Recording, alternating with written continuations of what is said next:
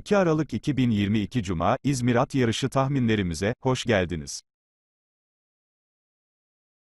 Öncelikle, yayınlarımızı takip edip, videomuzun altında bulunan teşekkür butonu ile bize desteklerini gösteren herkese, şimdiden teşekkür ederiz.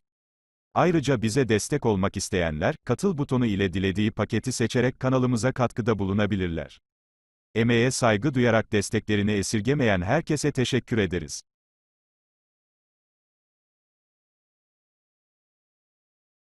Yorumlarımızın yazılı hali, yukarıda adresi yazılı web sitemizde, her gün yayımlanmaktadır.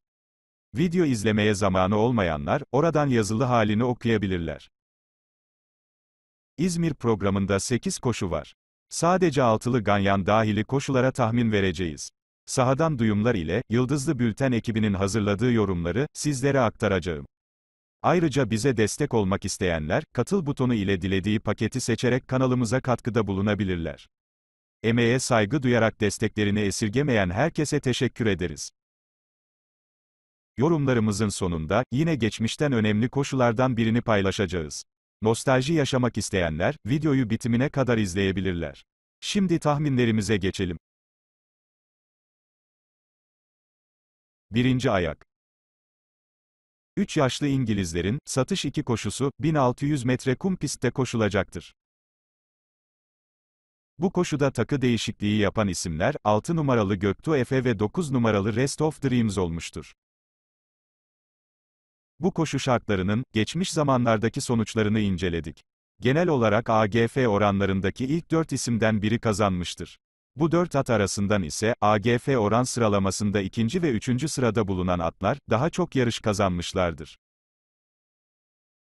Bu koşuda ağır tempolu bir gidişat bekliyoruz. Liderliği muhtemelen 5 numaralı Best of Fatoş alacaktır. Stili bir rakibi olmadığı için, rahatlıkla temposunu kurabilecek ve çıktığı gibi bitirebilecektir. Best of Fatoş, liderliği almadan da başarılı olan bir isim. Uzun düzlük sprinti ile, öndeki rakiplerini yakalayıp geçebiliyor. Biz Best of Fatoş'un bu koşuyu bir şekilde kazanacağını düşünüyoruz. Özellikle satış koşularında daha iyi koşuyor. Ali Can İnci idaresinde start aldığı iki yarışın birini kazandı. Bugün uygun rakipler ve lehine gidişatta, geçilme ihtimali bizce zayıftır. 5 numaralı Best of Fatoş'u bugün, satış koşusu olmasından dolayı, sadece alternatif banka olarak öneriyoruz. Riske girmek istemeyenler, bugün çok koşmasını beklediğimiz 3 numaralı Rekortmen ve 8 numaralı Mahsumzade'yi ekleyebilirler. 5 numaralı Best of Fatoş'u tek yazmak istemeyenler için rakamsal sıralamamız 5, 3, 8 şeklindedir.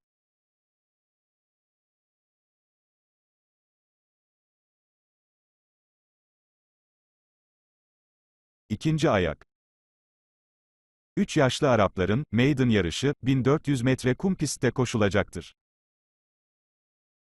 Bu koşuda takı değişikliği yapan isimler, 2 numaralı Bahtiyar Bey ve 9 numaralı Yelkenci olmuştur. Bu koşu şartlarının, geçmiş zamanlardaki sonuçlarını inceledik. Çoğunlukla favoriler kazanıyor olsa da, ikinci, üçüncü ve dördüncü atlar da zaman zaman kazanıyorlar. Bu koşuda liderliği 3 numaralı Canova alacaktır. Başka hiçbir süratli isim yok. Belki ilk startına çıkacak olan, Güntay yavrusu 5 numaralı Şahnalı liderliği isteyebilir. Normalde süratli bir pedigriye sahip ancak ilk yarışı için çok fazla sıkıştırılmayabilir. 3 numaralı Canova, son yarışında liderliği alarak yarışmıştı. Son metrelere kadar önde gelip, Sefir'in kızına son anda geçilmişti. Bugün de iç kulvardan yarışa başlayacak ve mutlaka liderliği alacaktır. Eğer farklı stilde koşan bir isim çıkmaz, Şahnalı da ilk startında gereksiz tempolara girmezse, Canova bu koşuyu çıktığı gibi bitirebilir. Net favorimizdir.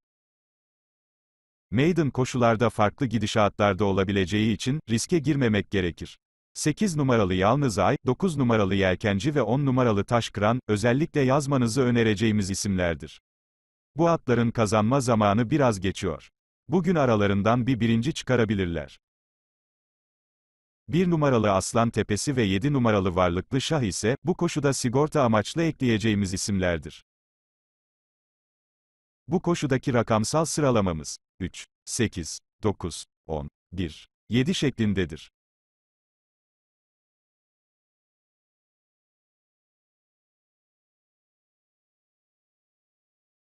Üçüncü ayak. 3 yaşlı dişi İngiliz atlarının, şartlı 4 yarışı, 2000 metre kum pistte koşulacaktır. Bu koşuda takı değişikliği yapan isimler, 5 numaralı Prenses Karşıyaka ve 6 numaralı Another Love olmuştur. Bu koşu şartlarının, geçmiş zamanlardaki sonuçlarını inceledik. Çok yüksek ihtimalle, 56, 57 ve 58 kilo olan atlar kazanıyor. Bu atlar arasında, favoriler daha çok kazanıyor olsa da, ikinci, üçüncü ve dördüncü sırada olan atlar da kazanabiliyor. Bu koşuda çok ağır tempolu bir gidilat bekliyoruz. Liderliği alarak yarışan hiçbir isim yok. Ancak 7 numaralı Fine Lady ve 8 numaralı Mary Legs dışındaki tüm isimler, yarışı önlerde götüren atlardır. 1 numaralı Tangül Hanım, kum pisti çok özlediğini son yarışında kanıtladı. Bugün üzerine koyarak geleceği bu grupta, kazanma şansı çok yüksektir. Net favorimizdir. 2 numaralı Runner Girl, bu aralar oldukça farklılaştı. Eski günlere dönüş yarışı çıkarabilir. Bizce Tangül Hanım eksik koşarsa, Runner Girl kazanabilir. Bu iki isim haricinde tuttuğumuz bir isim yoktur. Zeren Hatun ve Tibidabo'yu da yazıp burayı daha sağlama alabiliriz. Fakat Zeren Hatun henüz yarış kazanabilmiş bir isim değil. İyi koşacak olsa da, bir şekilde geçileceğini ve bu kazanamama huyunun devam edeceğini düşünüyoruz. Tibidabo ise, son yarışını sürpriz yaparak kazandığı için bugün favori çıkabilir. Fakat ara sonrası ilk yarışına Ali Can İnci idaresinde katılıyor. Bu binici ile 11 kez start almış ve kazanamamış. Biz bu sebeplerden dolayı, bu isme de şans vermeyeceğiz. Bu koşuyu 1 ve 2 sıralaması ile geçelim.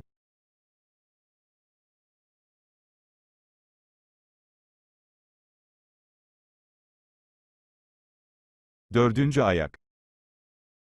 3 ve yukarı yaşlı İngilizlerin, kısa vade 8, ay Tudor koşusu, 2100 metre kum pistte koşulacaktır. Bu koşuda takı değişikliği yapan bir isim olmadı. Bu koşu şartlarının, geçmiş zamanlardaki sonuçlarını inceledik. Genel olarak AGF oranlarındaki ilk 4 attan biri kazanıyor. Nadiren sürpriz çıkabilmektedir. Bu koşuda süratli bir tempo beklemiyoruz. Liderliği bir numaralı Delaware alacaktır. Stili bir rakibi olmadığı için, rahatlıkla temposunu kurabilecektir. Delavera, temposunu kurabildiği yarışlarda çok başarılı koşuyor. Üstün sürati ile, süratli rakiplerinin yanında bile liderliği alabilen bir at. Bugün tempo kurmakta zorlanmayacaktır. Mustafa Çiçek idaresinde 10 yarışın 5'ini kazanan Delavera, ara sonrası 2 yarış gördü. Bizce bugün lehine şartları da yakalamışken, birinciliği alacaktır. Günün bankosu olarak bir numaralı Delaware'ı yazabiliriz.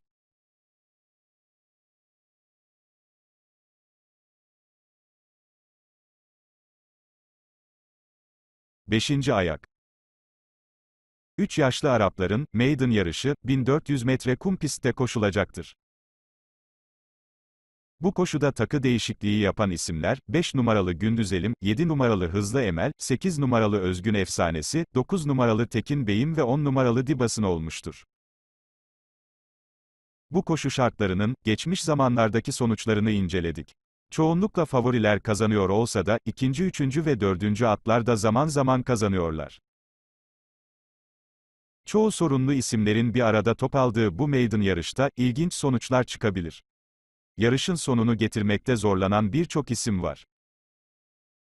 7 numaralı Hızlı Emel ve 11 numaralı Safi Naz'ın form durumlarını ilerlettiği gözlemlendi. Bu iki at haricinde önerilen veya bizim tuttuğumuz bir isim olmadı. Bizce bu koşuda riske girmemek gerekir. At eksiltmeden hepsi işaretleyelim ve bu koşuyu rahat izleyelim.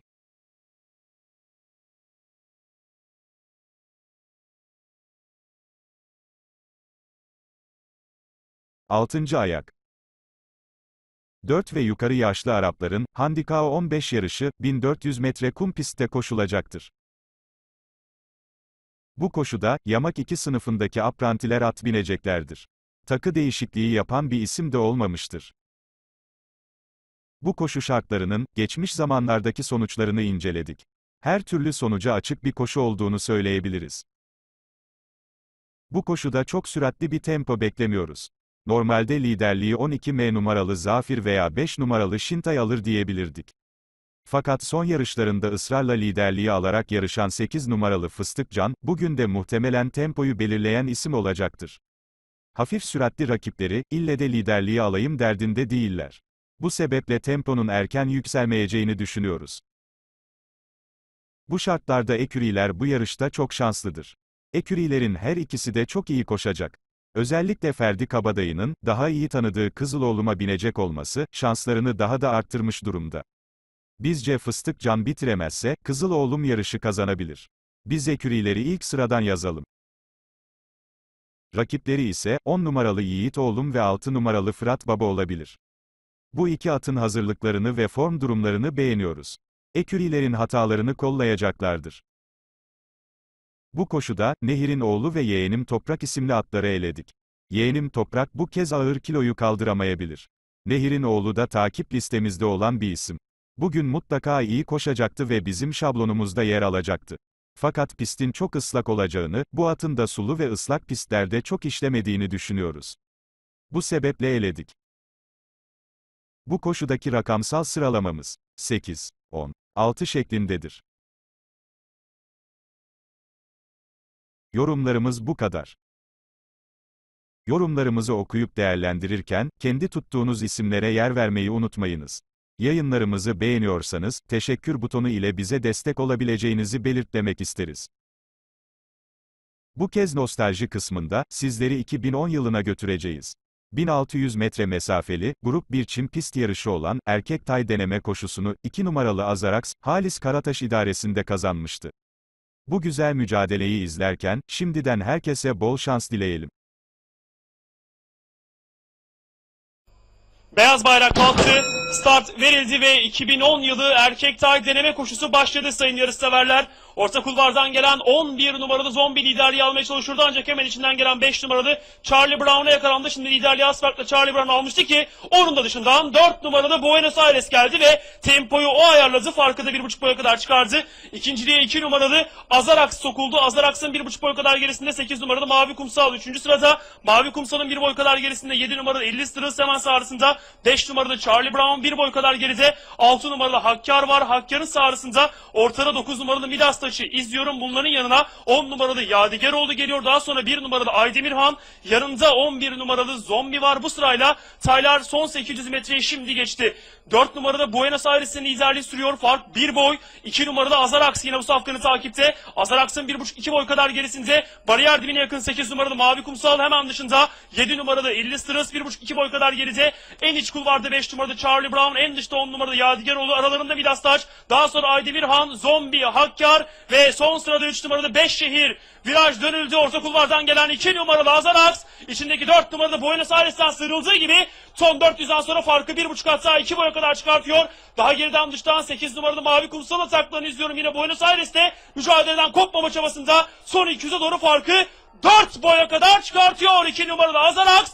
Bundan sonra dıştan gelen 8 numaralı Mavi Kumsal onu yakalamak için atak yapacak ancak son 50'de 4 boyluk liderliği sürdüren 2 numaralı Azarax koşuyu Halis Karataş'ta kazanıyor.